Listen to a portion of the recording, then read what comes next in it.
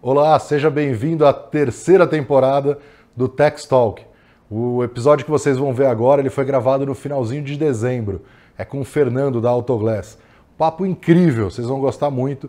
E aproveitem, o Fernando não é muito de dar entrevistas, então foi um privilégio nosso poder ter ele aqui e ele contar tanto sobre a carreira dele, sobre a empresa e os planos que eles têm daqui para frente. Eu estou fazendo essa abertura aqui na frente, né, no, no, nosso estúdio, que a gente resolveu no meio do caminho, na virada de ano, é, fazer um estúdio um pouco diferente, um cenário um pouco diferente. Então esse episódio que vocês vão ver ainda é com o cenário que a gente gravou a primeira e segunda temporada e agora, a partir do próximo episódio da terceira temporada, vocês já vão conhecer o cenário novo. Aproveita, deixa o seu like, se inscreve no nosso canal, ativa o sininho para não perder a estreia também do novo cenário, mas vocês vão gostar muito do episódio que vem agora. Aproveita!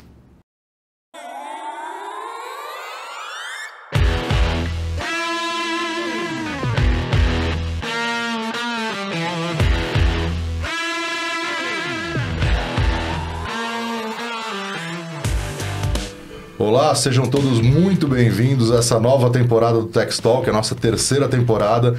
Um prazer estar aqui de novo com vocês. A gente começa hoje com o Fernando Carreira, que é CEO do grupo Autoglass Maxpar, é, com atuação nacional por meio de mais de 80 lojas próprias.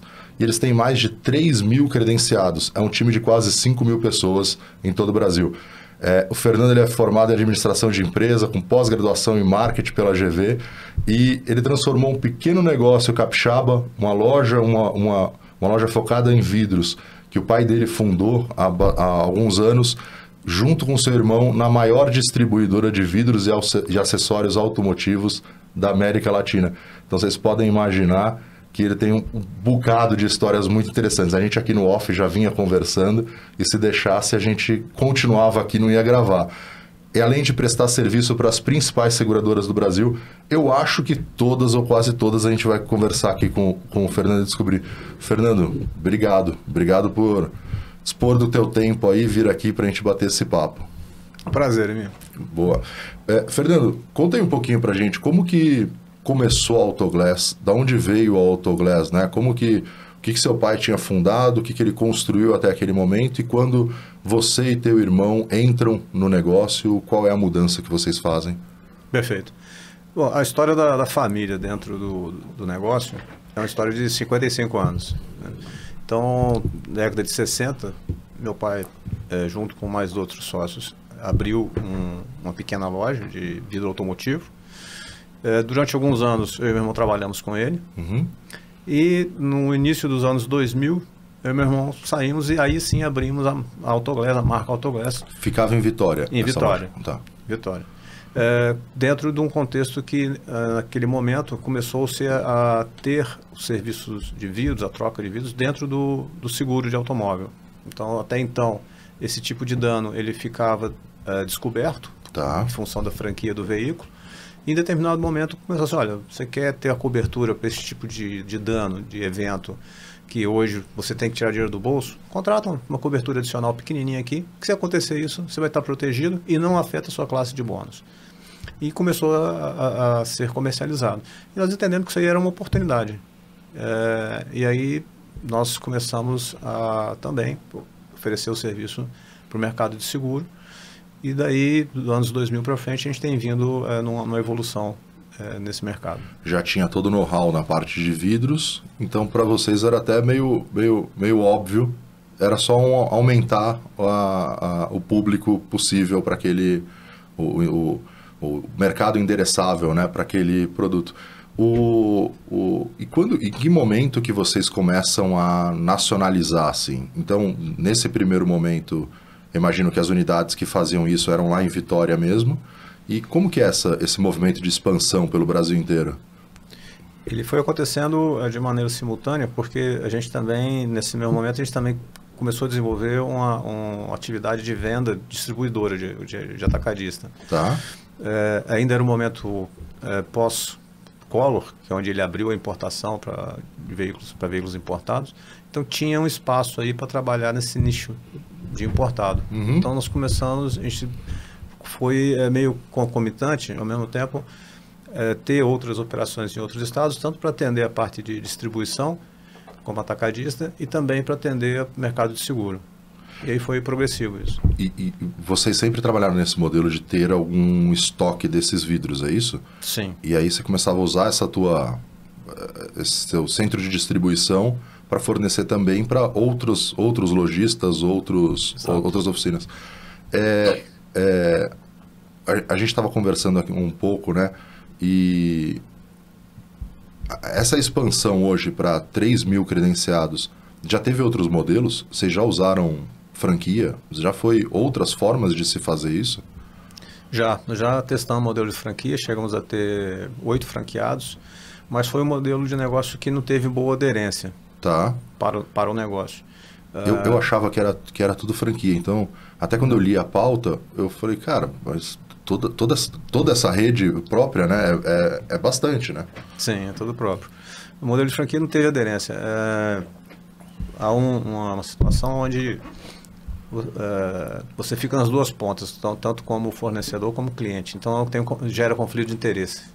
Hum, entendi. Aí com o passar do tempo a gente eliminou essa, esse modelo de negócio. Legal. E aí o que vocês fazem hoje é credenciar. Então você pega oficinas, é, pontos de reparo pelo Brasil inteiro, treina essa, essa, essa equipe para fazer o processo da forma de vocês e, e, e, eles começam a receber demanda, é isso? É isso, exatamente. Tá.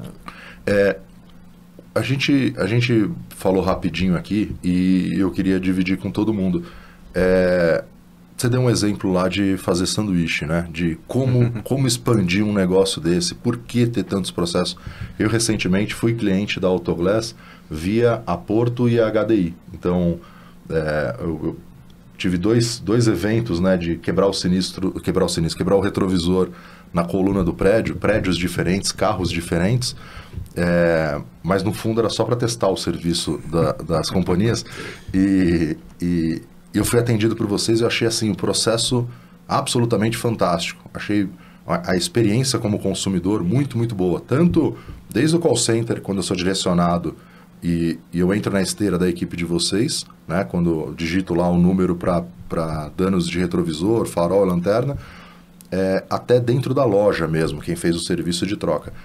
Como que você faz, como que você cria essa, essa padronização, né, esse nível de qualidade? É, é, só lembrar assim, o, o call center já é nosso já, né? Sim. Então, assim, toda a esteira é toda nossa. É, uma coisa que eu aposto muito, Emílio, assim, é, é, pessoas. Então, a capacitação, você dar clareza do que, que se espera do colaborador, que que é a, qual é a missão dele, você ter ele engajado no seu objetivo principal, é o ponto de partida. Isso é, eu sempre acreditei muito. Então, existe uh, vários mecanismos para você fazer isso. Existe uh, uma capacitação, existe uh, uma, um trabalho do, do, da parte de pessoas do RH de trazer engajamento. Então, o propósito do negócio está alinhado com o propósito dele também. a gente procura muito assim, ter um, um clima uhum. dentro da empresa, um clima que seja agradável. Eu costumo dizer, eu tenho um vídeo admissional, quando a pessoa está fazendo o onboard, ela começou, chegou para trabalhar com a gente. E uma das coisas que eu coloco nesse vídeo é o seguinte: olha, se você que está chegando hoje para trabalhar com Autoglass, é, se você me perguntar o que, que eu mais espero de você, eu vou te responder uma coisa, é simples. O que eu mais espero é que você goste do que você faz, que você goste do que você vai fazer. Porque ninguém faz mal feito aquilo que gosta. Quando você gosta do que você faz, você quer ter orgulho do que você fez. Você quer contar para as pessoas o que você fez, porque você fez bem feito. Sim. E quem gosta do que faz tem um outro, outro ponto. Ele se preocupa com detalhe. Ele se preocupa com a pequena coisa. Então eu cito o exemplo seguinte: uh, o cliente levou o carro na nossa loja.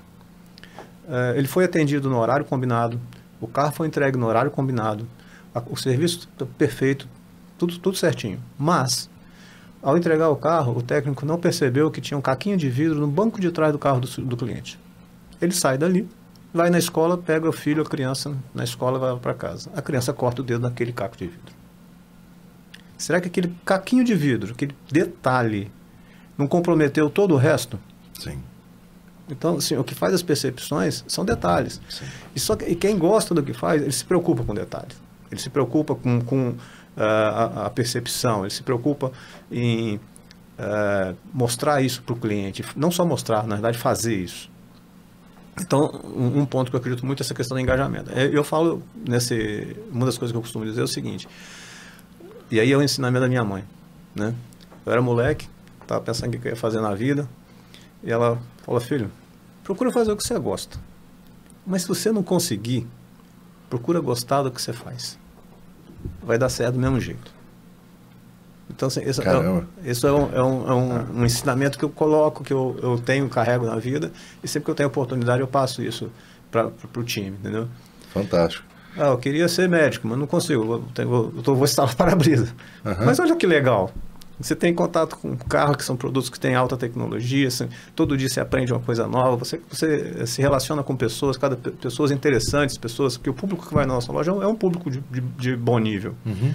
Você vai estar interagindo com pessoas de bom nível, iguais ou melhores que você normalmente. Você tem, tem muita coisa para aprender com elas. Então, é mostrar o que, que tem de bom no que você faz. Sim. E, e muito interessante isso que você falou de gostar, né? Porque eu, eu o que, o, o que me veio à cabeça é, e quem gosta chama e traz as pessoas próximas dele, né? Então, se ele está fazendo aquilo para as pessoas do convívio dele, próximas dele, a chance dele querer cada vez mais fazer melhor, se preocupar com os mínimos detalhes. E o que eu achei, eu achei interessante dessa fala é é mais simples, né? É mais simples do que poderia ter uma resposta muito muito rebuscada, né? Mas fala, cara, faz o que você gosta, né? Goste, tenha o, o a paixão por aquilo que está fazendo. Com certeza, todo o resto é consequência disso, né? Sim. Pô, fantástico. Eu, eu costumo ainda agregar o seguinte, assim, olha, na hora que você não estiver gostando, não fica com a gente, não trabalha mais com a gente, não vai ser bom para você. E nem para a empresa, não vai ser bom para ninguém. Então, não se torture. Sim. Aí só para acrescentar mais uhum. outra coisa que eu costumo dizer, que é o seguinte, se você parar para pensar como é que é a vida da gente, é, você tem a sua a infância e adolescência, você tem sempre alguém mandando em você, que é seus pais, seu dinheiro é restrito. Você, ah, você começa a trabalhar. Você trabalha normalmente o quê? 35, 40 anos? Vamos falar 35 anos, uhum. médio, né? Depois, aí você pode passar a descansar, coisa e tal. Durante esses 35 mil anos, não são os melhores anos da sua vida, não? Que você tem a saúde, você tem a, a disposição, você está... Tem dinheiro, você... Você está com algum dinheiro, etc. Uhum. Tal, né? A partir dali, depois de 65, alguma coisa vai faltar. A saúde, alguma coisa vai ficar para trás. A disposição, a vontade de fazer. Aí vamos pensar mais um pouquinho. Durante esses 35 anos, você trabalha o quê? 8 horas por dia? Tem gente que é mais. Sim. Né? Mas miseravelmente 8 horas é o normal, você dá para dizer que é a sim, média. Sim. Essas 8 horas que você trabalha não são as 8 melhores do dia, horas do dia, não. É a hora que você está disposto, a hora que você tem o sol, você tem o dia, né? É a melhor parte do dia que você está tá trabalhando. É o, o, ápice do dia, né? É. É. Então você trabalha as 8 melhores horas do dia durante os 35 melhores anos da sua vida. Você vai trabalhar em aquilo que você está te torturando, que você não gosta, você está jogando a melhor parte da sua vida no lixo. Sim. Então, a minha recomendação para eles é essa. Outra coisa que eu costumo dizer também é o seguinte: é, é um público muito jovem. Né? Na, na última é, radiografia que, que a gente fez do Great Place to Work, a idade média dos colaboradores, a gente só perdeu para o McDonald's. Nosso público é muito novo. Caramba! É. é. então, esse público novo, ele, ele, a gente procura despertar nele também uma coisa, assim, é a vontade de aprender, a vontade de se desenvolver, a vontade de não se conformar com o que ele sabe, uhum. procurar saber mais. E eu falo o seguinte, olha, o conhecimento é a única coisa na sua vida que nunca ninguém vai tirar de você. Isso você pode, é, você pode adquirir um bem, um carro, alguma coisa, aí daqui a pouco, Deus me livre, mas se surge um problema de saúde na família, num filho, na esposa, em alguém que você gosta, que você ama, você não vai gastar o que você tiver? Sem dúvida. Com educação, com conhecimento, com o que você sabe, você recupera isso. Uhum. Então, o maior patrimônio que você pode adquirir é o conhecimento. Sem dúvida. O, o, o, o isso que você comentou, né? Do, se você não estiver feliz, se você não estiver fazendo o que você gosta, se estiver sendo uma tortura para você, não, não fique, né? Não. É, o, o, o, o, fundador da Zappos, né? Que é uma empresa de sapatos nos Estados Unidos, que vendia sapato online, história é fantástica. E quando dava quatro meses, cinco meses de trabalho, eu não lembro ao certo o valor, mas ele oferecia assim, 5 mil dólares para a pessoa é, não continuar trabalhando na empresa dele. Porque ele falou, cara, se você estiver aqui por causa dessa grana, eu, eu, vai me custar, assim, pra, como empresa vai custar muito mais e, e isso pode ser uma ajuda para você ser feliz para você mudar de vida. Estuda alguma outra coisa que você queira e vai mudar de vida. Então é interessante, né? Às vezes tem uma situação dessa em que todo mundo se tortura e, na verdade, o que todo mundo queria era seguir sua vida, né? Seguir os 35 melhores anos da sua vida fazendo alguma coisa que você gosta. Isso. É, o, o, legal isso que você faz do desse ter o vídeo de onboard, né? Porque de alguma forma, bem ou mal, as pessoas conseguem te ver, né? Como o CEO da companhia de você dividir, você comunicar, conversar com elas. É, aqui na Tex a gente tem estrutura infinitamente menor e, e a gente, uma das coisas que a gente fazia era ter o contato com as pessoas, né? Queria, assim. E uma época a gente começou a contratar bastante gente, falava, cara, não dá, vamos fazer um vídeo, vamos, né? Como, como que eu posso estar presente mesmo quando esses volumes não forem, não forem suficientes? Mas esse onboarding é, é, e isso é crucial, né? Isso implica desde o primeiro dia o, a tua visão de empresa, né? Como é a cultura dentro da, da, da empresa. É, o que que, o que que, como foi esse processo para tornar a Autoglass a maior empresa hoje de distribuição de vidros e acessórios na América Latina? Hoje vocês estão presentes em outros países também, com esse, com esse mesmo modelo que vocês atuam no Brasil. Sim, a gente está presente na Colômbia, falando assim, tá. é um tá, país só uhum. que está, né?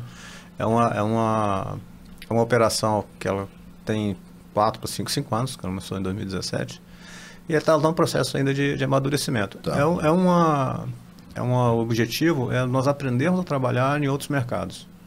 E aí, a curiosidade que eu tenho para falar sobre isso é que todo, muita gente me pergunta, por que Colômbia? Era a próxima pergunta.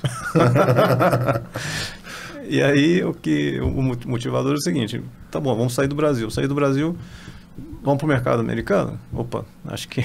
Porra, é, talvez seja outro o jogo. O ticket é meio alto aí para gente. O buraco é mais embaixo. Ah, então tá, vamos para qual é o segundo mercado na América? É, México. A gente olhou para o México, viu players estabelecidos, viu uh, uma, um mercado que já tinha uma certa uh, consolidação, já, uhum. tinha, já tinha alguma coisa acontecendo ali. Qual o terceiro mercado? Argentina. Aí você olha para a Argentina, você tem uma instabilidade política e econômica muito grande. Né? Você põe dinheiro, mas você não tira. Né? Qual, o qual o quarto mercado? Colômbia. Vamos olhar a Colômbia. Era uma frota, é uma frota em torno de 5 milhões de veículos, mais ou menos, que para nós o, o, dimensionamento de mercado é a frota circulante. É, não, não, não tenha o produto seguro na Colômbia, é um produto uh, ainda bem uh, uh, simples. Eu, eu, digo que o produto seguro, o mercado colombiano, de modo geral, é o mercado do Brasil há 10 ou 20 anos atrás, talvez. Entendi. Então, a sofisticação que existe ainda é baixa. Então, o nosso serviço lá é um serviço novo, é uma inovação que nós levamos para o mercado colombiano. Paralelo a isso, eh, nós encontramos também eh, um CEO de uma das, das, das, companhias presentes no mercado que tinha sido CEO, eh, tinha sido diretor de sinistro aqui no Brasil de um cliente nosso. E ele estava buscando algum serviço novo, alguma inovação para agregar no produto dele. Entendi. Então a coisa encaixou. Sim, tal, é, o, tamanho do sapato é o nosso pé, o tamanho uhum. do mercado, o risco envolvido. Tem um cliente que tem interesse. É, a parte de, de, distribuição também era um mercado bem é, diluído, bem é, assim, pouco, madure, pouco maduro. Então, entramos lá. Hoje nós já somos, dentro da, dentro da, nossa área de comércio, nós já somos o maior distribuidor de vida da Colômbia hoje. Vida automotivo. Tanto fazendo serviço de reparo, como vocês fazem aqui no Brasil, como distribuição mesmo para todos esses outros fornecedores. É, principalmente distribuição. Principalmente né? distribuição. Principalmente distribuição. A área de, a área de comércio está já assumiu um protagonismo lá bem relevante no mercado. E, e as características do mercado colombiano no que diz respeito às coberturas de vidro e tal, é muito hoje já, nessas companhias que tem já é similar ao que tem no Brasil? O tipo de sinistro também é similar? Tem alguma peculiaridade no mercado colombiano? Não, é bem similar. É? Bem similar. É, o produto lá ainda não está com a sofisticação Sim. que nós colocamos aqui. ele ainda está num estágio mais simplificado, né? Mas é, é uma questão de roadmap a gente ir gradualmente fazendo a evolução do produto no mercado local. E, e, lá na Colômbia tem sido boa a aceitação da oferta desses produtos? Lá também é oferecido pelos corretores, certo? Sim, exato. O, tem sido boa a penetração? Tem, tem crescido tem. bem dentro do mix de... Sim, sim. Tá, tá, tá, dentro do roadmap que a gente imagina. Assim. Imaginou. Assim. Não vai, não vamos, a gente não tem como esperar uma conversão de 80%, 90%. Aqui no Brasil, mais de 95% das apólices têm a cobertura desse nosso serviço, né? De vidro. Você tem o serviço de vidro Fantástico. embutido. É, lá, obviamente, é um mercado que ainda está tá aprendendo, tá aprendendo a, usar. a usar. Então, você tem taxas de conversão menores, mas o mais importante, assim, você vê a curva ascendente. Uhum.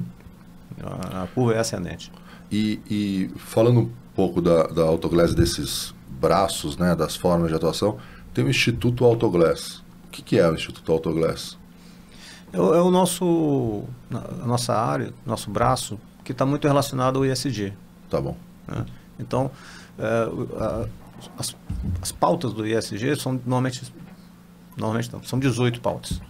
Então, você tem lá, por exemplo, ah, é, é, acabar com a fome no mundo, acabar com é, é, uh, educação, tem, tem vários pilares. Questões né? climáticas. Questões climáticas.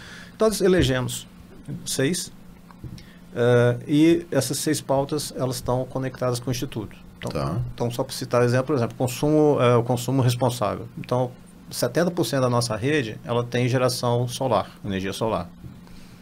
Uh, o outro aspecto que é assim, super relevante é a logística reversa que a gente faz do resíduo. Então, ah, ah, legal, você trazer o vidro para fazer reciclagem. É. Só que não é tão simples assim. Por quê? O para-brisa ele é formado por um vidro, uma lâmina de vidro, uma lâmina de plástico e outra lâmina de vidro. Tá. Um vidro de garrafa, você leva em qualquer vidraria, ele vai derreter aquilo e vai fazer outro vidro. O para-brisa não. Por quê? Você tem o plástico no meio. Então, são poucas empresas de reciclagem que moem o para-brisa separa o plástico Isola. do vidro, aí sim destina o vidro para fazer a reciclagem. O plástico pra, vai para outro lugar. Uhum. Então, é, um para-brisa que quebrou em Manaus, Manaus são 15 dias de trânsito, de, de, de, de transporte para ir ou para voltar, passa por barco, container, tudo que você pensar. Tanto leva como traz o resíduo, traz o vidro quebrado de volta para reciclagem. Caramba! Ah, é em, em Pelotas, Rio Grande do Sul traz para cá também. Porque aqui, é, é São Paulo que tem essa, essa, empresa aqui, em Guarulhos, que faz essa, essa é, moagem do, do para-brisa uhum. para poder fazer o descarte, a reciclagem adequada. Então, assim, é, a logística reversa, ela é cara e é complexa, não é simples. É, um dos pilares do, do, Instituto é apoiar isso daí, a operação nossa para fazer, fazer isso. Não só do vidro, mas também peças plásticas, que você tem farol, você tem um monte de coisa.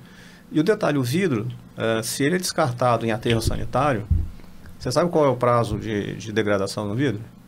Não. Nem eu. A gente ainda não chegou nele. Ninguém viveu para poder saber. Mas assim, é, é, o número que se fala hoje é de milhares de anos. Ele não degrada.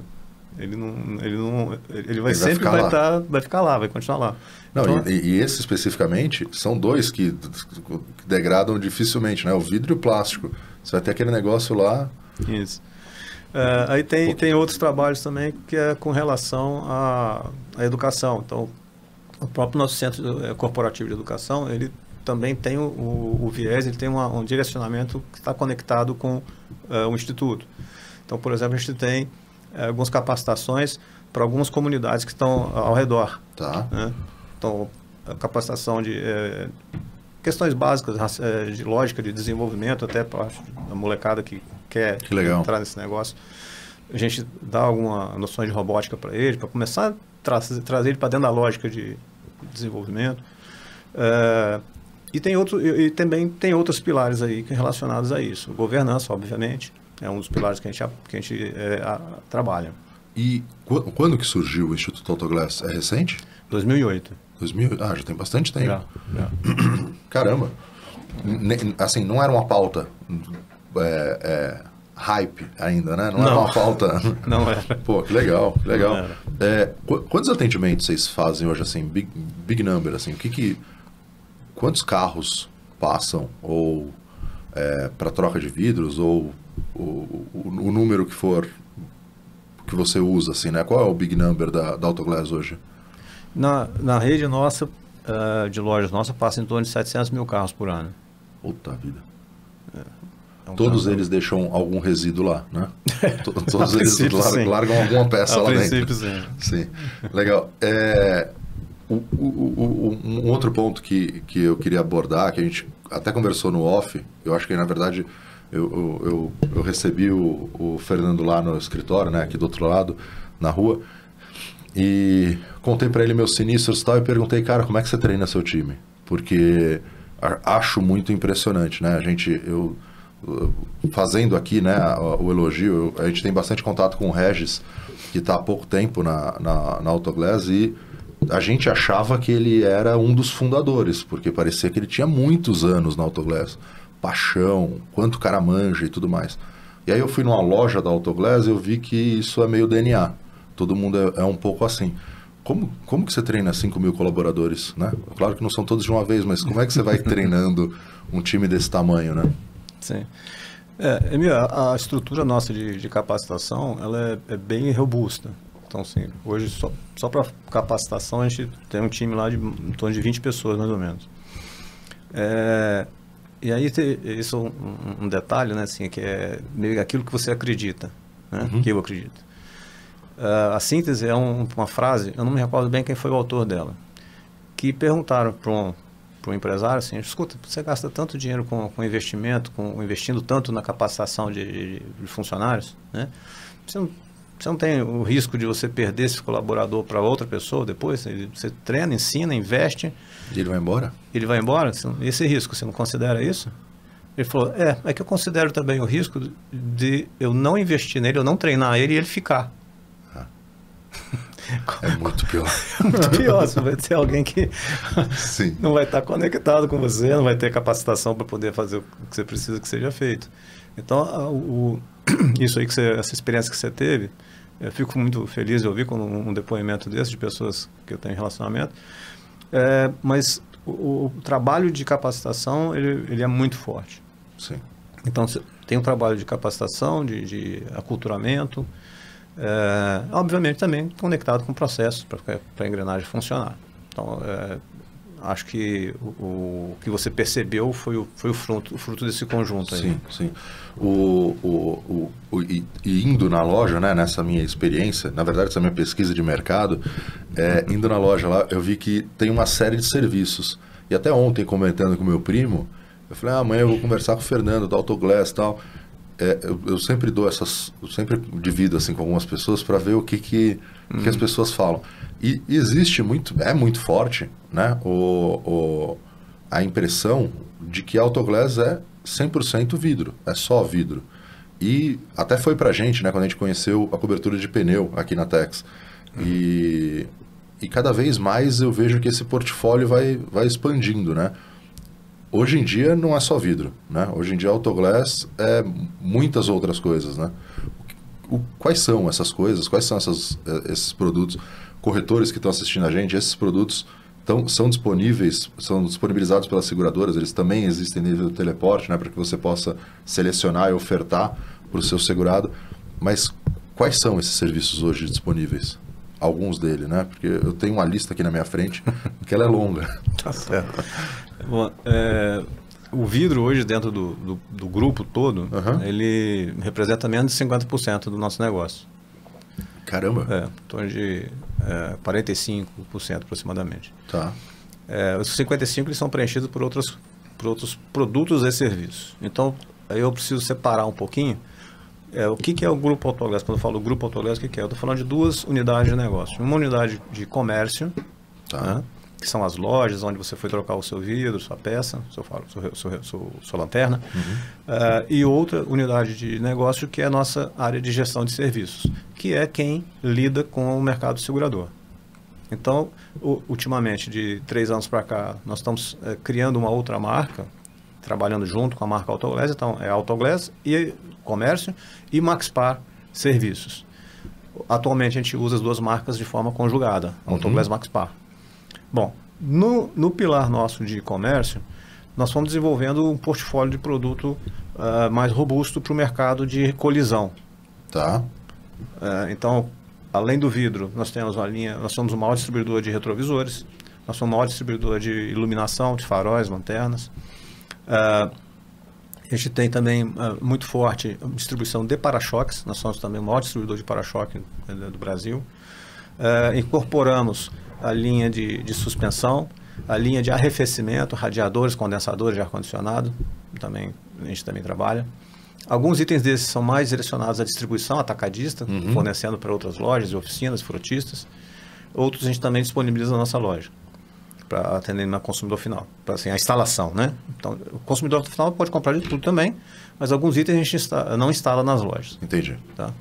Bom, é, então, o desenvolvimento de, de, produtos dentro dessa, do pilar de comércio, ele abrange principalmente essa linha de colisão.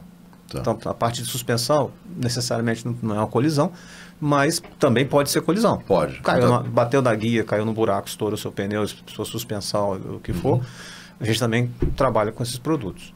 Bom, aí no, no pilar de, de serviços, o produto tradicional nosso é o, é o vidro, farol, lanterna retrovisor, é a cobertura.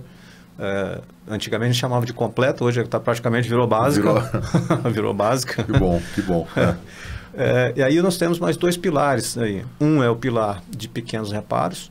Então, é, aquele dano na lataria, na pintura, até no próprio para-choque, ele está coberto dentro disso. É, isso era uma demanda que a gente percebia, esses pequenos danos é, o segurado não, não, utilizava, porque a franquia é maior do que isso. Sim. E a gente percebeu que a, a adesão, o nível de satisfação NPS desse serviço, dessa cobertura, assim, é altíssimo. É, é, muito, muito interessante isso. E o que, que a gente faz? O que, que essa cobertura cobre? Ela cobre o seguinte: ah, é, amassou a porta, amassou o, o para-choque, empenou o para-choque a gente cobre é, o valor da mão de obra até um limite de, de, de, de, cobertura e a gente cobre o valor da mão de obra. Ah, mas e se precisar trocar peça? Se precisar trocar, trocar peça, a gente apoia, a gente indica, olha, você, tem, você vai precisar dessa peça, o, o, o prestador está indicando isso, é, e nós podemos te indicar a opção de você comprar aqui, aqui, aqui ali. Ou o próprio oficina pode fornecer. Então a gente também apoia eles Legal. na eventual necessidade de, de trocar a peça. E, e, a, e o serviço está coberto. Conseguiu recuperar? Ótimo, não precisa trocar nada. Não, não conseguiu recuperar, a gente apoia ele na, na troca da peça. Isso é um, é um, é um serviço uh, que tem a percepção de valor muito alta. O outro pilar é. Aí até fazer uma parte. Esse, esse pequeno dano da pintura, tem alguns corretores eles confundem com o serviço anterior que a gente tinha divulgado, que era é, reparo de arranhões e martelinho de ouro. Tá. Isso também está coberto, também está dentro desse pacote de pequenos reparos. Mas o pequenos reparos é mais abrangente. Mas é muito mais abrangente. Então, assim, ah, é só martelinho de ouro e, e arranhões? Não, não. Ah, o arranhão é o reparo sem, sem pintura? Não, também cobre pintura, também cobre é, amassado, ele cobre o, o, a deformação no para-choque. Ele é mais abrangente. forma é o que está abaixo da franquia. É, né? exato. Porque aí mesmo que tem uma monta alta, mas ainda não atinge a franquia, ah, pode ter troca de peça tal, tem esse processo de indicar o fornecedor para isso. Então você imagina assim, ah, você estacionou o carro em algum lugar, quando você foi pegar o carro, a sua porta estava amassada, estava fundada para dentro ali. Não necessariamente você vai precisar trocar a porta. É muito comum você conseguir recuperar. Sim, entendi. E isso aí está tá coberto. E, e, e, e, isso também não, não, não, não, não impacta bônus. em classe de bônus? Não, também não. Legal. O terceiro pilar, então assim, olha a evolução do vidro. Eu pedi para minha corretora colocar, né? Eu tinha recebido um cálculo sem. eu falei, coloca cobertura de pneu, porque eu, eu conheci a Autoglass, eu tinha acabado de trocar o pneu do meu carro, porque eu estourei num, num buraco ali na Sumaré.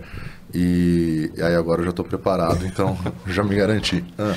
Então, o terceiro pilar de, de, de serviços é justamente o pilar de, de pneus de suspensão. Sim. Né?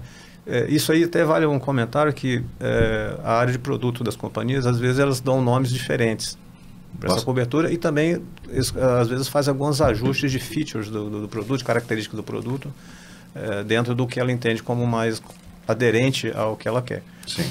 Mas, em linhas gerais, o, o, o produto ele cobre danos ao pneu e à suspensão.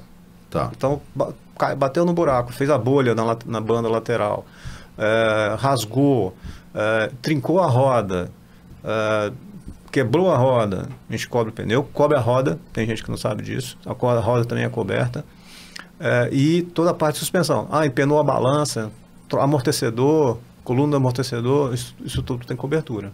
Né? Obviamente, novamente, tem só o detalhe que alguma companhia pode fazer, assim, ah, não, eu não quero, eu só eu cubro não... pneu e roda, a suspensão não. Então, às vezes, tem alguns ajustes aí, de, uhum. de companhia para companhia. Mas o produto é, completo nosso é cobertura de tudo. O, o, e, quando, é, né, que, corretores que estiverem assistindo, faz os cálculos, faz um cálculo no, teleporte, ou na ferramenta que você utilizar, ou no site da companhia, e coloca essas coberturas e tira elas, só para vocês verem a, as variações de valor assim, é, é extremamente vantajoso. Estou falando isso como consumidor, porque uhum. eu, eu, eu, nem, nem, nem o que eu conheço aqui da Tex, né, pedindo para o meu corretor para colocar. E, e assim, é muito mais provável. É, eu não sei se tem alguma cidade do Brasil que não tem buraco, né? Tal, talvez tenha, mas eu não conheço. Mas é muito mais provável o seu segurado usar uma cobertura como essa que foi barata e dá o valor inteiro ao seguro, né? achar que valeu a pena ter feito seguro, é, do que uma colisão grande, que ele vai usar franquia, que ele vai ter um transtorno, que não sei. Então, é, é, o uso desses serviços, né, a oferta desses serviços, trabalha positivamente para a experiência do uso do seguro, né? Sim. Um, um detalhe ainda, Emir, é, se você parar para olhar, assim, ao longo dos anos, a, a franquia ela tem é, aumentado, ela tem ido para valores, valores mai, maiores. Uhum. É uma forma de pesar menos no prêmio. Então, o que acontece? Você fica com uma faixa de valor é, razoável, sem, sem cobertura, sem, sem proteção ali. Esses três produtos nossos abrange assim, uma quantidade enorme de eventos. Mas enorme. Então, você ah, a franquia é alta, mas você tem um monte de coisa. Então, por exemplo, você deu uma encostada no, no, no para-choque, sei lá onde que você queira, no, no muro, estacionamento, que foi. É, empenou o para-choque, quebrou o seu farol e deu um pequeno dano na, na pintura do seu capô, do seu paralama, o que for. Essas coberturas praticamente vão te cobrir tudo. O para-choque está dentro de pequenos reparos. O farol está dentro da cobertura de vidro. O massadinho também vai estar tá dentro de pequenos reparos. Você está coberto. Está coberto. Eu, eu lembro que tinha a Marítima, né, a seguradora Marítima no mercado, e ela tinha uma tese que ele, ela cobria esses pequenos reparos, né, não sei ao certo como era na época, né, mas ela cobria os pequenos reparos com a, com a, com a, com a tese de que se, se o carro está todo arrumadinho, a pessoa toma mais cuidado e evita a colisão maior, né? Estou mais atento no meu carro, eu cuido dele. Sim. Se o carro está todo arranhado, né? a gente às vezes vê na rua, né? Passar aquele carro todo arranhado, amassado, não sei, fala, meu, vou ficar longe, que Sim. esse daí não está nem aí. Então, eu, eu acho que são, são coisas que jogam junto, né? São, são muito positivas para a experiência do segurado, principalmente, né? Porque ele é, é, consegue utilizar o seguro, ter experiência do uso do seguro, mesmo que não seja a cobertura securitária, né? a cobertura principal daquela pólice. É, o, o, volume de acionamento é, é grande hoje em dia, numa, em apólices em termos geral, para o uso dessas coberturas? Sim. Tem são. sido cada vez mais utilizado, Sim. né? Tá, como a gente estava conversando um pouquinho antes aqui, é, os serviços de assistência, eu vou trazer o assistência 24 horas para dentro desse pacote. Tá. É, hoje, eles geram a percepção de valor do, do, seguro de uma maneira muito consistente. Por quê? É, se você pegar a, a, frequência de uso do seguro, tá, vou botar é, perda parcial, vou botar terceiros tudo mais, vamos falar de 10%, talvez um pouco menos, ou não, acho que é mais para menos do que para mais. Tá. Mas vamos falar 10% junta serviço de assistência de vidros, se você botar lataria, se você botar pneu e botar assistência, esse número vai dar de 50% a 60% de utilização. Pelo menos 50%. Então, a chance do cara botou a mão no bolso para pagar um seguro e chegar no final do ano ele não ter usado nada e ficar com aquele sentimento, pô, será que vale a pena fazer seguro? Não usei nada esse ano. Ano passado também não usei Paguei nada. À toa. Paguei à toa. É. Né? É, essa, essa percepção ela tende a diminuir. Sem dúvida. Porque você usou o serviço, você usou alguma coisa daquilo ali. Né? Então, a, o, o serviço de assistências, ele tem muito valor a agregar. Vale um, um, um ponto aí que é a crise que, o, que a assistência 24 horas é, passou e talvez esteja passando ainda. Uhum. Né? Mas aí é uma questão de você de gerenciar a qualidade do serviço, de, de contornar outros os problemas que tem no processo de prestação de serviço. Mas que, pelo que eu percebo, também está sendo contornado. Sim. Eu acho que talvez o pior já tenha passado, o mercado está se estabilizando novamente. Eu acho que daqui para frente volta é, para um nível de qualidade habitual e a, essa preservação, essa percepção de, de, qualidade, ela se, ela se mantém. É, é interessante, né? Brasil, Brasil é, é imenso, né? Então, empresas conseguirem manter esse nível de atendimento, né, esse nível de excelência. Pô, a gente está em São Paulo, você está em Vitória, você Rio de Janeiro, tal, beleza, você tem uma, um, um nível de estrutura grande para fazer esse suporte. Agora, quando a gente começa a entrar por diversos cidades, estados, né, você está falando da logística reversa de Manaus, de 15 dias, é, é assim, é, é, é brutal, né? Você fala, bom, preciso de um vidro de um veículo que eu não tenho lá. Tá bom, seu carro está parado, né? Um para-brisa, seu carro está parado lá por um, por um longo período. É, é, isso, com certeza, essa percepção de valor é muito grande. Eu, pelo menos, procuro usar bastante das assistências e tudo mais, porque é, é, é, é a parte. A gente, a gente até mencionou sobre seguro residencial, né? Seguro residencial, ele é. Eu estava conversando ontem com alguém aqui que comentou isso. Falou: seguro residencial é de graça, né? Eu falei: não, como assim?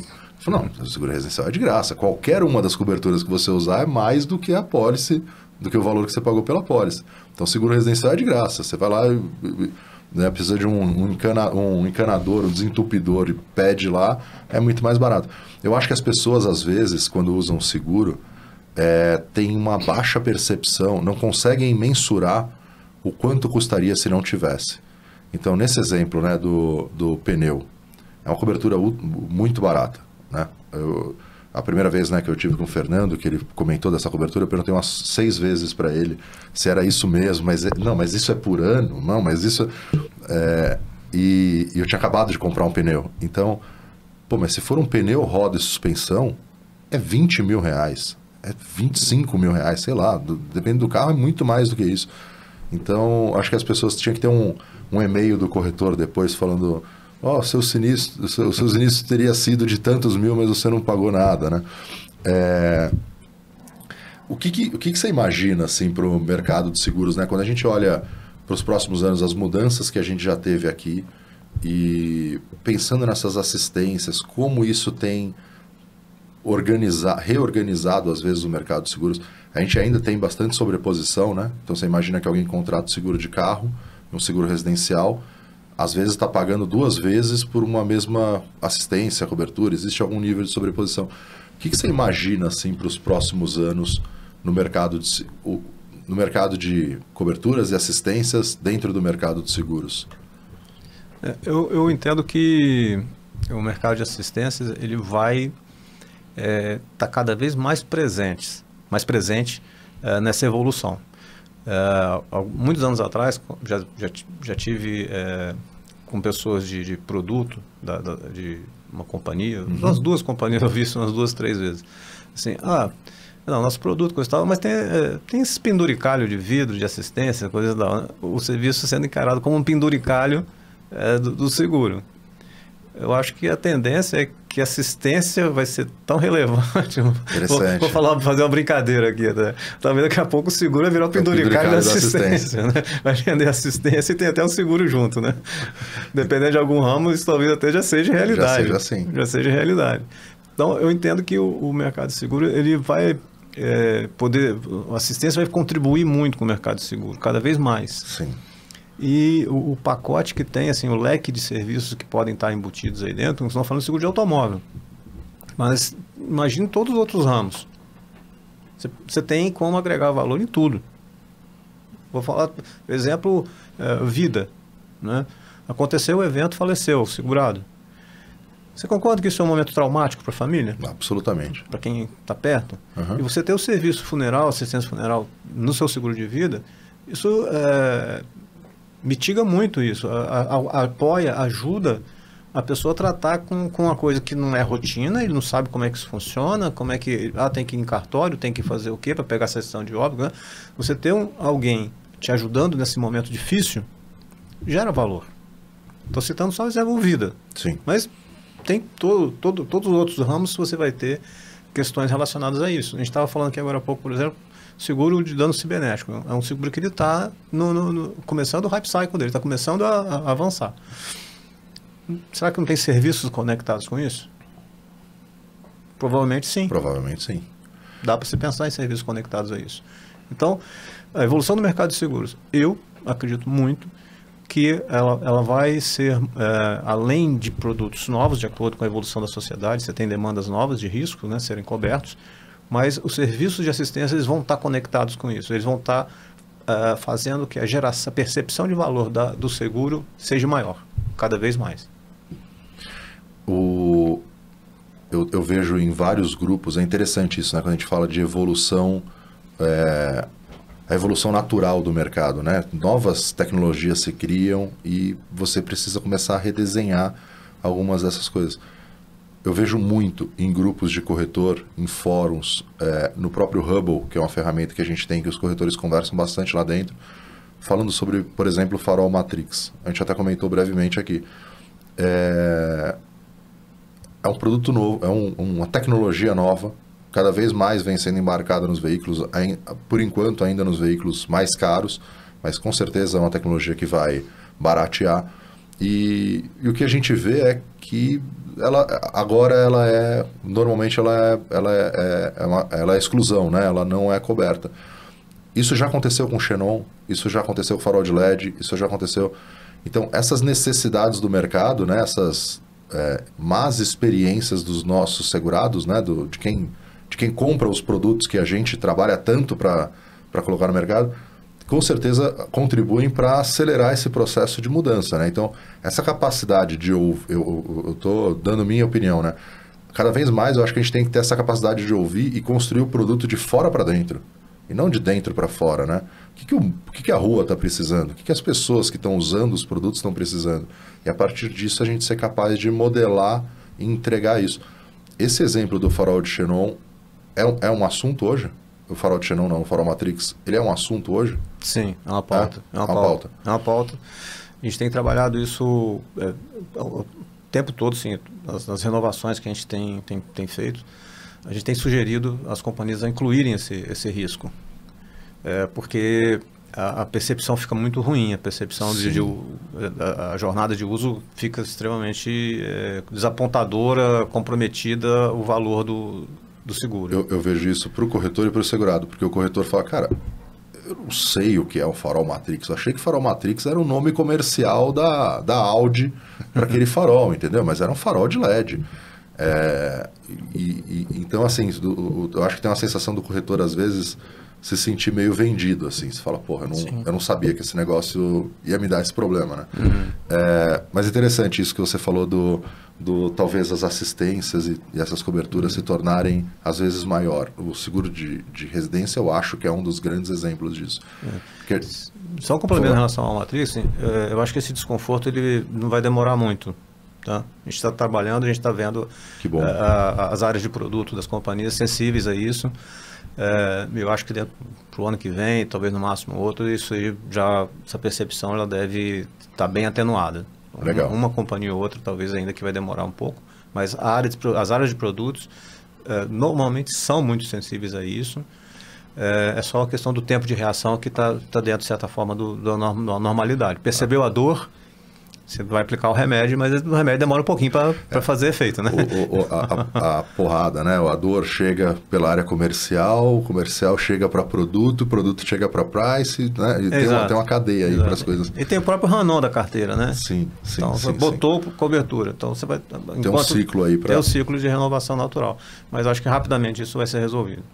É, o, o, o, esse, esse é um dos, dos pontos que a gente escuta aqui bastante, porque é, como a gente trabalha com muitas seguradoras, invariavelmente o corretor usa a Tex como o centro de informação, né? Ao invés de disparar a pergunta para cada uma das companhias, cada um dos comerciais, ele fala, pessoal, quem tem? Porque eu tenho um carro aqui, eu preciso colocar ele e eu preciso saber em qual companhia eu coloco é. para ter isso. Então, é um assunto que para a gente sempre chega, bom, bom saber. É, vocês recentemente fizeram uma aquisição, né? Na IQ um, um, a, a, parte de assistência deles do Brasil. É, Por que essa aquisição? Qual que é o, qual, como que foi o movimento para fazer essa aquisição? Tá. Isso, é, posso começar dizendo assim, a nossa, um resumo de, da estratégia nossa é, no futuro a Autoglass vai até vender vidro, vai até atender. Então, cada, Acho muito bom esses cada, movimentos de pivotar, assim, que é, é, é cada dia, uh, cada dia mais a gente é, ser menos alto e ser menos glass. Então, ah, vamos deixar de fazer isso? Não, não vamos. É que a gente entende que é, outros pilares aí, outras atividades, elas é, vão se sobrepor ao que a gente faz hoje e ter o mesmo nível de importância ou até mais. Uhum. Nesse contexto tem essa aquisição da, da IQ Brasil. Né? A IQ é uma empresa mexicana, ela tem uma participação no México super relevante, sim, ela é majoritária líder de mercado lá. Mas a operação aqui, eles entenderam que não estava dentro de uma perspectiva de futuro que eles queriam, etc. E tal. Então a gente comprou é, a maior parte do, do capital, assim, 90% é, é Autoglass, 10% ainda continua com a IQ México. Uh, e estamos no, no, nesse processo de entendimento da, da operação, entendimento dos produtos, dos serviços, mas principalmente o objetivo é, uh, quando a nossa área comercial visitar um cliente, a gente tenha uma prateleira com vários produtos. Né?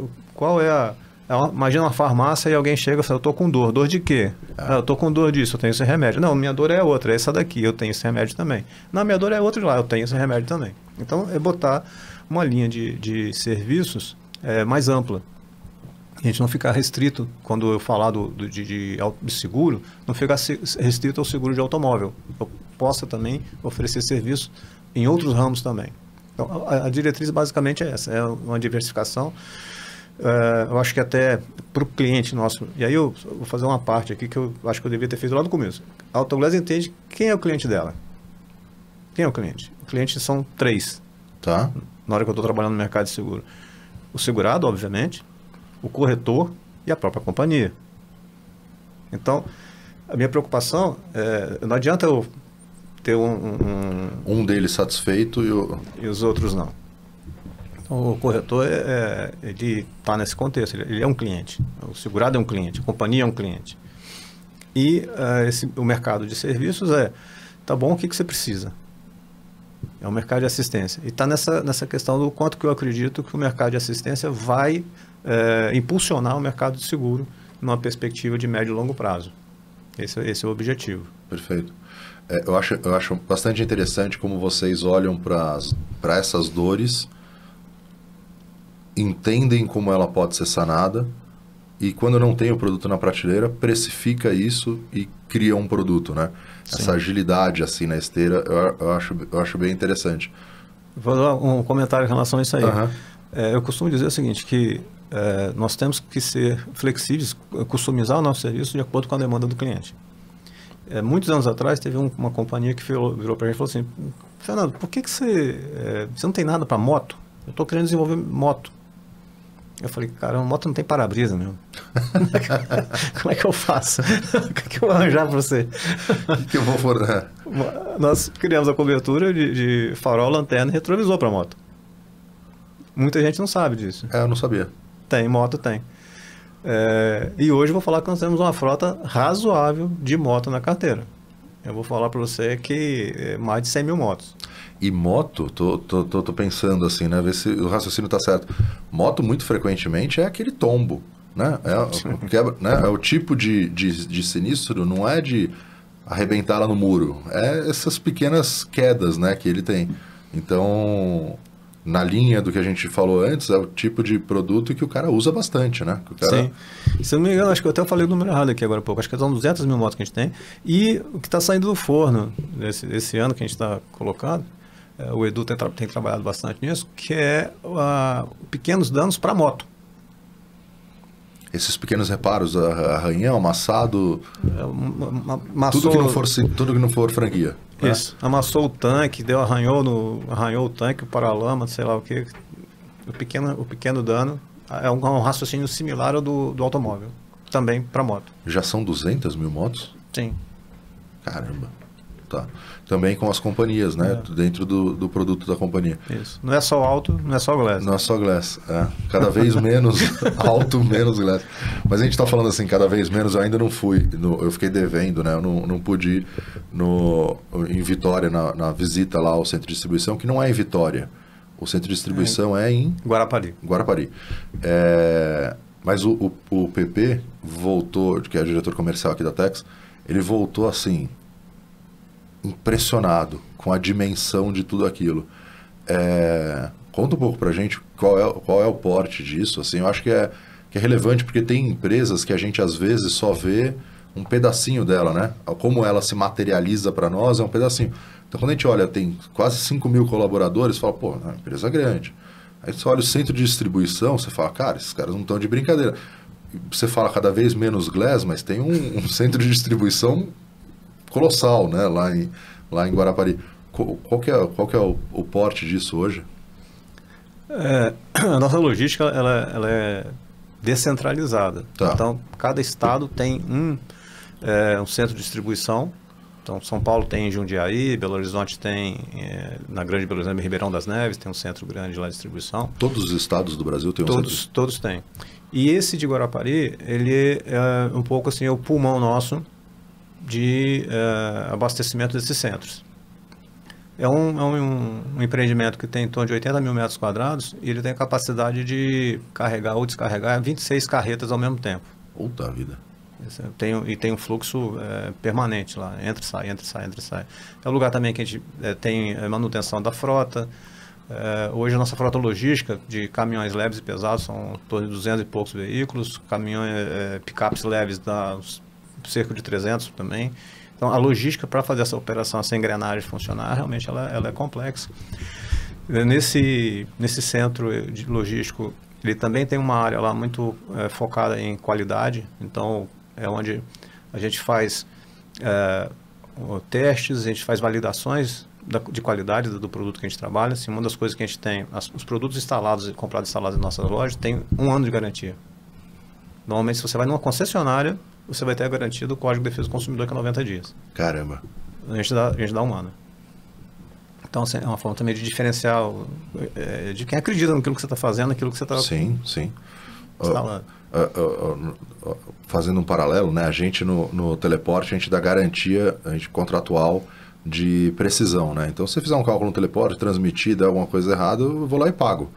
É, e a gente até erra, mas erra assim, 0,00 é muito pouco. E, mas aí você falou, né? Você acredita no teu produto, no, na forma que você faz. Como, como que vocês fazem? Lançou um carro novo. Ele, vocês pegam um carro desse, levam para lá e, e faz a troca de cada uma dessas peças para criar os manuais, assim, curiosidade mesmo. Não... Como que é o processo para se fazer isso? No, no Centro de Educação tem esse trabalho de é, entender o, é, o processo da substituição da peça, então assim, desenvolve o, a base de conhecimento para isso. É, e no centro de, de, logístico, o que faz é o fornecedor você ele está oferecendo a, a, peça tal. Tá. A gente traz amostras e valida aquela amostra ali a qualidade dela. Então, por exemplo, é, tem câmara de, salin, salin, de, de, vapor de sal. É, é, como se pegasse uma peça metálica e colocasse ela... Levasse isso, ela para o litoral. Para a beira do mar ali, só que com intensidade de salinidade muito maior. Então, ela acelera o processo de envelhecimento. Então, assim, um, um sinais de oxidação que sugeriam uh, naquela peça em campo em cinco anos, vai, vai acontecer aquilo em cinco dias. Uh, tem peças plásticas. Ela, ela, a gente põe ela em câmeras de ultravioleta, que é o que degrada normalmente o, o, o plástico. plástico. Seja trinca, seja coloração, descolore, valida. Ah, chegou uh, um exemplo que assim tem, tem um, um valor gigantesco, mas uh, o, o consumidor, o público não sabe, é o poliuretano que é aplicado na colagem do para-brisa no veículo. Tá. Ah, o que, que, tem isso? É uma cola que segura o vidro, é, né? que eu grosseiramente chamo de cola. É uma de cola, beleza. Só que uh, o, o, vidro colado na carroceria do veículo, ele também gera resistência mecânica. Então, num capotamento, o vidro, se ele está bem colado, está colado adequadamente, ele vai evitar o esmagamento do teto na situação Caramba. de capotamento, certo? E aí, o que, que acontece? Eu estou trocando o adesivo que a montadora botou. eu tenho que botar um adesivo compatível. Com, compatível. E não só tem um adesivo, tem que ter um processo também adequado para isso. Porque aquele carro foi dinamizado para o vidro ser um componente estrutural. Mecânico estrutural, isso. Então, o que, que a gente faz? Todo o adesivo que a gente compra, a gente separa lotes de amostra por, por amostragem e faz testes. Também de envelhecimento acelerado, testes de ruptura. Então, assim, a gente aplica o adesivo no corpo de prova, na amostra, põe no dinamômetro e vai esticando aquilo para saber com qual, com qual força que aquilo vai se romper. Isso existe uma norma técnica para isso da BNT que tem que romper com X quilograma força. Tá. Então tem garantido o adesivo que nós estamos usando, ele está dentro da especificação técnica. Ah, é, é, feito também no corpo de prova um outro tipo de teste, que a gente chama de cisalhamento. Então o adesivo está colado ali, ele, a força em vez de ser de, é, de extensão, é sim de cisalhamento, que é pegar aí como se estivesse cortando. Entendi tem que também resistir até tantos quilogramas força. Então, é feito o teste, todo lote de adesivo que chega, a gente separa a amostra para testar. para fazer. Porque é a segurança que nós estamos é, trabalhando do consumidor, é a segurança que nós estamos trabalhando do cliente. Nenhuma empresa no Brasil faz isso. Confia no que o fabricante faz, toca para frente, qualquer bota, coisa e vamos lá. Ah. A gente tem essa preocupação. Nesse centro de logística, como, como eu falei, ele tem uma área que se preocupa com isso. Então, assim, o que, que a gente está é, até aquilo que não é visto é cuidado, como a questão do poliuretano, do adesivo. E, e, e é, é, fantástico porque até no, a gente estava conversando, a gente conversou bastante aqui fora, tá? Por isso que eu fico, fico, fico mencionando. É, na cabeça do consumidor é só trocar um vidro, né? Aí você estava falando, pô, mas aí desconecta o plug e você precisa. A, a central inteira é, é, é Desconfigura. desconfigurada. Então, pô, tem um processo para você não tirar o plug né, do, dessa peça. Assim, é, é um nível de, de, de, de, complexidade, né, de cuidado, que é impressionante. Assim, a gente tem uma tendência a olhar serviços muito bem feitos e achar que ele é fácil, o que é natural, né? Porque uhum. é, né, igual, sei lá, usando o exemplo do esporte, você via o Michael Jordan jogando, você falava, cara, é muito. Né?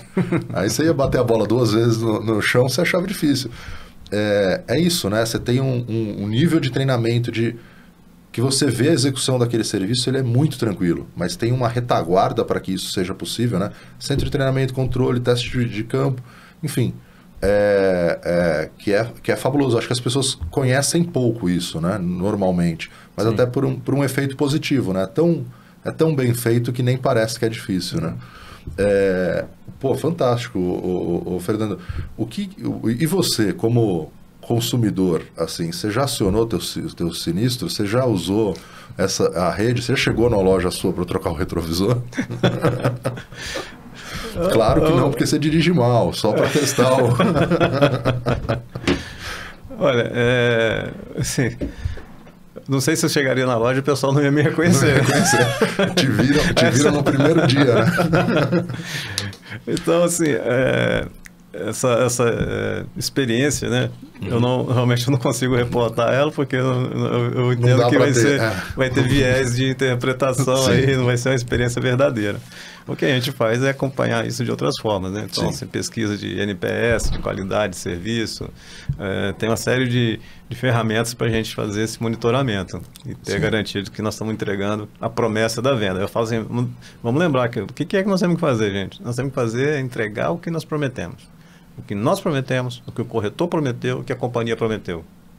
Isso que nós temos que fazer. E entregar bem a um custo adequado que ninguém vai pagar uma fortuna por uma cobertura de vida. Uhum. Tem que ter um, tem um limite isso.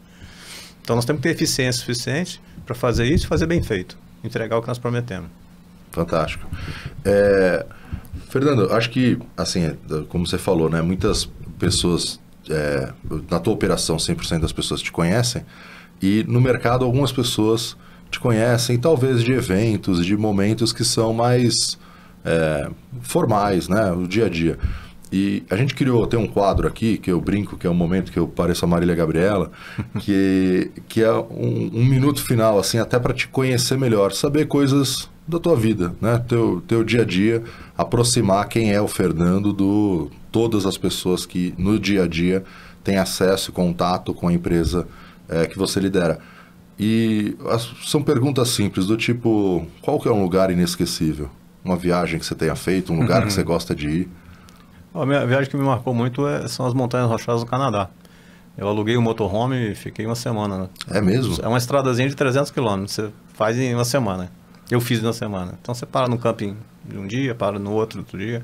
E paisagens fantásticas. Só dava, eu não sei hoje em dia, mas na época só dava para ir no verão. Porque essa estrada ela fica congelada, é, neve, durante o inverno. Então, e você é... já tinha viajado de motorhome? Não, foi a primeira experiência. Foi a primeira experiência? Muito legal. Pô, muito que legal. É. É, eu, tenho uma, tenho uma curiosidade de... e falam que os Estados Unidos e Canadá é muito tranquilo para fazer isso, né? Tem, um, tem uma infraestrutura para conectar ele, tirar resíduo, colocar água, né? Isso. É, um momento marcante. Acho que foram, foram alguns, né? principalmente o nascimento dos meus filhos. É, esse ano, dois momentos foram casamentos de dois deles, nós temos três filhos. Os dois, dois casaram esse ano. São essas, essas coisas é, da vida da, como pessoa que acho que são as que mais marcam. Sim, sim. E um sonho realizado? Olha, é que eu diria assim, são vários, né? Mas eu acho que o, o primeiro que marcou mais é, foi conseguir comprar a casa que eu moro hoje. Né? Assim, é um lugar é, é, bem próximo da cidade, quase dentro da cidade, mas ao mesmo tempo tem um contato com a natureza enorme.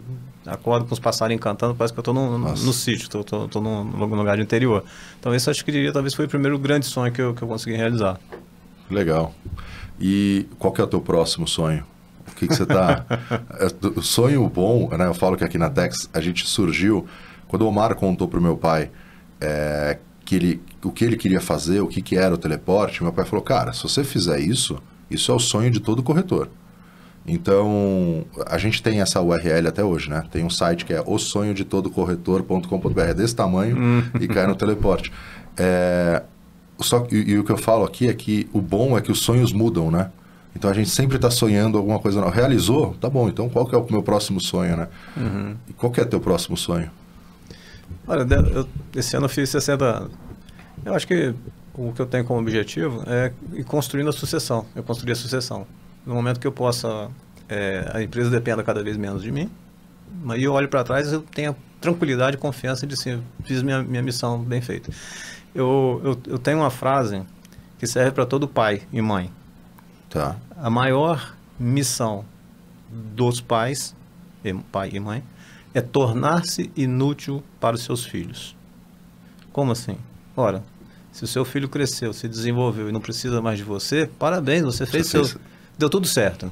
Porque essa, essa é a vida.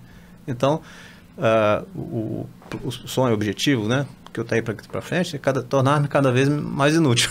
Interessante. E para a empresa também, né? Também, ela não pode depender de mim, né? É. Eu, eu, eu, comentando esses dias, algumas pessoas era muito comum no passado, né? Você fala, não, não posso tirar férias, né? Eu saí de férias, isso aqui nada vai funcionar. E falava-se isso até com algum orgulho, né?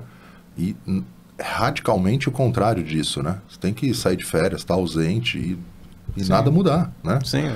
Às vezes você, você tira férias forçada, né? Você ficou doente e aí?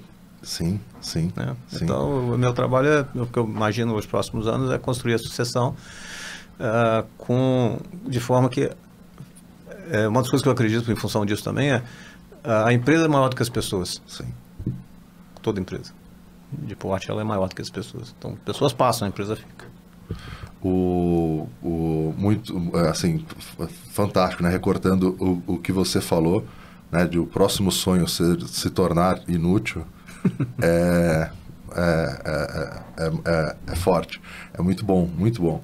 É um, um livro eu diria que é um livro recente, né? Feitos para durar. São, são, são, são histórias, são cases, são estudos feitos de, de empresas que, que duram. Tem. GE, né? Empresas... É. E o, sabe que o, o, Steve Jobs, uma das coisas que ele mais pregava, assim, né? Que ele, o foco, né? Talvez da, da ambição dele, era, era isso, né? Construir uma companhia que que ele fosse inútil, que ele em algum momento, óbvio, que né, a gente sabe o quanto ele gostava de aparecer e ser a cara de tudo aquilo, mas é isso, né? A GE talvez seja uma, uma dessas, desses grandes exemplos do mundo, né? O, um dos fundadores, o Thomas Edison, né? Bom, acho que eu já ouvi falar desse cara criando, criando umas coisas aí. É, e um filme, Fernando?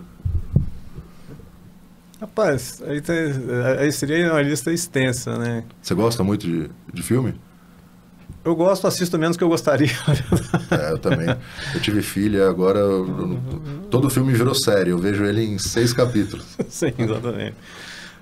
Olha, é, um, é antigo, né, pra caramba.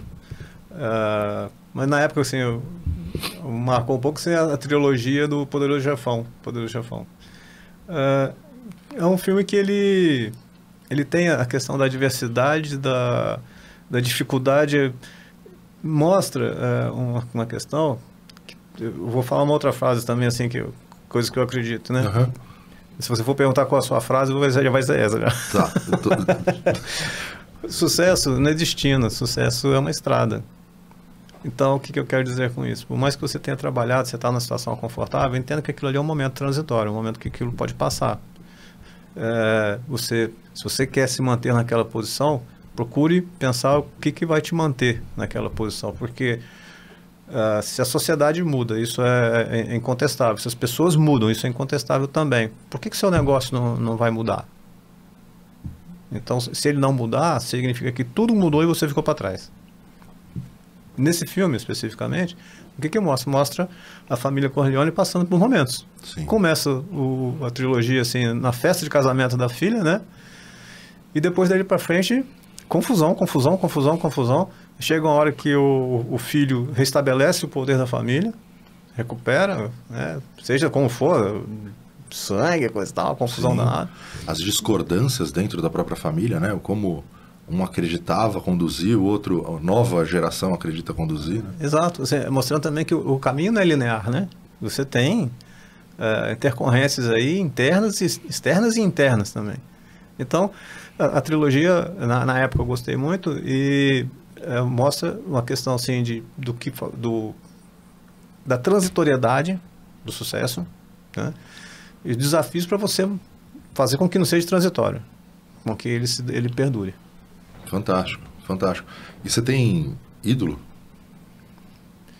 Não exatamente, tem algumas pessoas que inspiram. Né? Tá. Um deles eu tenho... Uh, a família da minha mãe são, são empresários né, lá no Espírito Santo. Tem um, um, tio que eu, eu tenho uma admiração especial por ele, que tem essa, esse, esse viés do, do da, a, da, da, do empreendedorismo, de, de, superação de objetivos, de em alguns momentos em conversa com ele houve, me inspirou.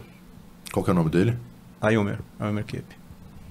Fantástico. É, eu estava brincando aqui com o Fernando, né? Que o Fernando é, usa o sobrenome Carreira, e, mas ele, ele, óbvio, né, também é equipe. E, e, e é, pelo menos aqui, né, o, o Ajami, que é o que o Omar usa, ele é da minha mãe e o Zanato é do meu pai.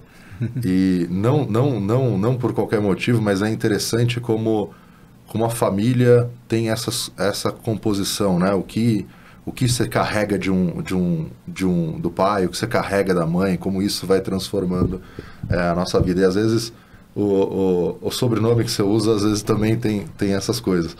É, Fernando, o que que eu, que que eu, teve alguma coisa assim que eu não perguntei e que você acha que seria legal a gente dividir? Eu acho que você foi bem, bem abrangente. Eu acho que você eu consegui, de certa forma, dar uma radiografia assim, do, meu, do meu jeito de pensar, da minha, da minha maneira, né? E não só a minha, na realidade, sim também do que a, a, o grupo Autoglass pensa. Então, essa preocupação nossa com a qualidade do serviço. É, eu, eu, falo que você hoje me deu um depoimento né, de, da sua experiência conosco. Isso assim, me deixa extremamente feliz. Eu, em alguns momentos, eu já falei para minha equipe o seguinte: olha, é quando algum amigo é, consumidor chegou da nossa loja para comprar alguma coisa e pode ter achado caro e me reporta isso, isso é uma coisa que não me incomoda tanto. Por quê? Nem sempre vou conseguir ter o melhor, melhor preço. Né? Mas quando algum amigo meu vai na nossa loja e me relata uma experiência negativa, de qualidade, isso para mim é o fim do mundo. E aí isso é uma coisa que, eu, eu é, é, é, inegociável. Uhum. O que quebra a empresa não é, não é preço. Ah. Você sempre vai ter um público para cada preço. O que quebra a empresa é qualidade. E essa, isso é, é a minha obsessão, que de certa forma eu procuro transmitir para o meu time. a, a qualidade como sendo qualidade ela se ela se reflete em várias coisas. Uma delas é respeito. Respeito aquilo que você promete, a sua, a sua a, respeito a sua, sua trajetória, a sua proposta de, de vida e de negócio que você faz. Então isso é um drive nosso. E a gente procura materializar isso. Eu fico feliz quando tenho, tenho relatos. É, obviamente a gente tem outras é, é, fontes de informação para poder Sim. garantir isso, né? Mas uh, o complemento que eu posso falar é disso. Assim, o compromisso que, que o grupo tem com relação à qualidade do que a gente faz, o produto que a gente comercializa, o serviço que a gente presta. Pô, fantástico. Fernando, é, e dizendo, né, dividindo com todo mundo, assim, o, o que eu conheci hoje de você, a forma de pensar, a forma de pensar os problemas, de pensar as soluções, de se comportar e tudo mais, é absolutamente palpável dentro da, da tua empresa. Porque eu tive a experiência com o, o, o, né, o jargão popular, assim, com o chão de fábrica, né? Eu tive com a equipe que estava instalando. Eu cheguei faltando cinco minutos para fechar a loja. E aqui na unidade da Pompeia, eu falei com o Carioca. E eu tanto que eu lembro o nome dele, né? Faz meses que eu fui lá. E em nenhum momento eles. Isso seria absolutamente normal se eles falassem, cara, tá fechando, volta amanhã, né? Eu estava fora do horário, eu, eu, fiz tudo errado. E em nenhum momento eles fizeram menção a isso, assim, nem de que, pô, que saco. Com, com esse mesmo nível de entrega que eu vi hoje, paixão pelo que faz, responsabilidade, cuidado e tudo mais, eu vi no cara lá na, na fábrica. Então, se teu sonho é legado, construir algo que você possa perpetuar, é, é latente que você está de fato construindo isso, porque eu, eu dei dois exemplos aqui, né? O Carioca lá na unidade da Pompeia e o Regis, que parece que tem anos e anos lá dentro da, da equipe. Então, existe um DNA, existe uma cultura, uma paixão pelas pessoas que fazem parte do time que são, são impressionantes, assim, são realmente impressionantes e são, é inspirador, né? É inspirador ver, ver empresas no Brasil como empresas que a gente via lá fora, né? As Apos, que todo mundo era fascinado, a Apple, que todo mundo quer trabalhar lá e tem um carinho especial, e, e empresas duráveis. Então, é, parabéns, obrigado pelo, pelo teu tempo de estar aqui para fazer esse papo, dividir isso com todo mundo e, e com certeza é, na Tex hoje, né, as pessoas que a gente tem aqui que se relacionam bastante com vocês, têm uma admiração muito grande pela Autoglass e pelo como vocês fazem o negócio de vocês. É muito bom, a gente aqui é bastante apaixonado. É muito bom você encontrar pessoas apaixonadas. É legal o papo, né? Você, se sente potente falando, né? Então, pô, obrigado. Obrigado mesmo pela, pela oportunidade. Obrigado, Emílio. Só tenho a agradecer pelo, também pela oportunidade de falar um pouquinho sobre o nosso negócio. Boa. Pessoal, falei que vocês não iam se arrepender. Obrigado por ter deixado o like. Se ainda não deixou, deixe seu like agora. Se você está ouvindo pelo Spotify também, dá para fazer uma avaliação. É muito importante para a gente, né? Porque espalha o conteúdo para mais pessoas.